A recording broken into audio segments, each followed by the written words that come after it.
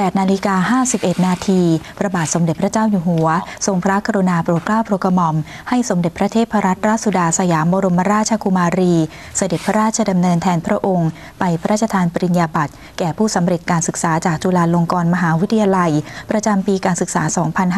2552 ณหอประชุมจุฬาลงกรณ์มหาวิทยาลัย โดยในปีนี้สภามหาวิทยาลัยได้ทุนกล้าทุนกระหม่อมถวาย ปริญญาสาธารณสุขศาสตร์ดุษฎีบัณฑิตกิติมศักดิ์แด่สมเด็จพระเทพรัตนราชสุดาสยามบรมราชกุมารี ในฐานะที่ได้พระราชทานโครงการพระราชดำริ ที่ส่งผลให้การพัฒนางานด้านสาธารณสุข ทั้งทางตรงและทางอ้อม ซึ่งล้วนเป็นงานยาก และต้องใช้เวลาต่อเนื่องยาวนาน บรรลุผลสำเร็จเป็นที่ประจักษ์ทั้งในระดับชาติและระดับนานาชาติ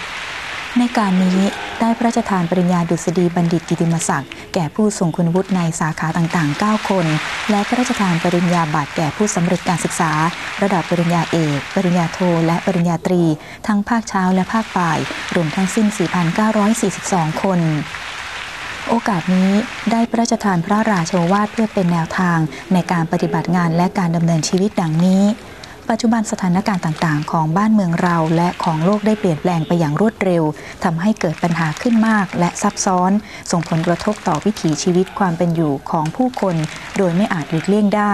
บัณฑิตในฐานะที่เป็นผู้มีความรู้ความคิด ต้องไม่ยอมให้ปัญหาเหล่านี้ มาเป็นอุปสรรคขัดขวางความเจริญก้าวหน้าในชีวิต และกิจการงานของตน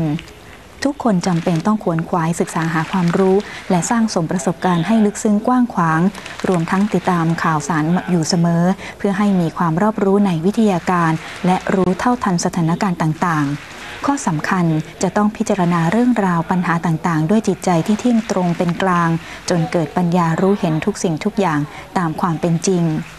ถ้าทำได้ดังนี้ แต่ละคนก็จะสามารถใช้ความรู้ความคิด ความสามารถที่มีอยู่ดำเนินชีวิต และประกอบกิจการงาน ให้ก้าวพ้นอุปสรรคปัญหาไปได้ และบรรลุถึงความสุข ความเจริญได้ดังที่มุ่งหวัง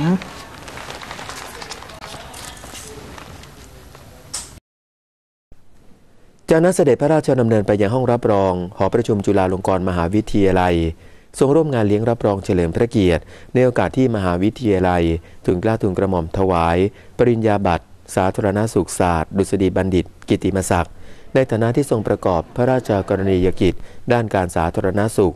และเป็นและวิทยาศาสตร์ สาธารณสุข นานับประการ ทั้งในและนอกประเทศ ด้วยพระมหากรุณาธิคุณ พระวิริยะอุตสาหะ ตลอดจนพระราชจริยวัตรอันเพียบพร้อม ทำให้มีโครงการอันเนื่องมาจากพระราชดำริที่เกี่ยวข้องเป็นจำนวนมาก ส่งผลให้การพัฒนางานสาธารณสุข บรรลุผลสำเร็จเป็นที่ประจักษ์ทั้งในระดับชาติและระดับนานาชาติ